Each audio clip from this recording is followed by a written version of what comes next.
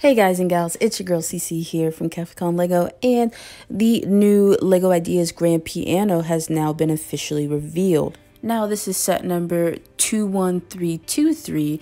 It will come out August 1st, which is next Saturday, and will retail for $350. Now, as you can see here, this is a full scale, but not one to one scale, obviously, grand piano. It looks like it has about two octaves, if I'm remembering from my piano lessons way back in the day.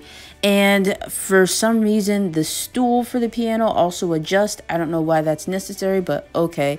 And then here you can see the powered up functions that go inside the piano, which I think are reading the colors as you hit the different keys and it brings down the hammers on the inside so that it actually plays the notes for um, for the piano throughout your phone.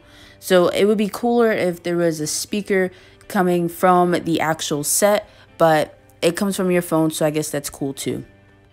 And then what's really cool is that there's a built-in spot for your phone. So I don't know if that's going to fit most phones or what was kind of their thought process there, but maybe it'll fit a tablet too. From reading the press release, thanks to the brickfan.com, it says that there are four songs that you could listen to or play, but right here it shows in the the video that there are five songs that are playable so i guess you get the sheet music for those and then there looks to be about eight songs that you can listen to so those will play automatically with the powered up app.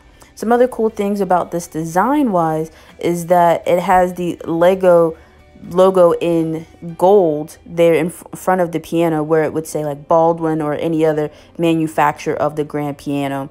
But anyway, I think this is actually really cool. Um, once the powered up app goes away, I think this can kind of maintain its uh, displayability and its lure to have this set.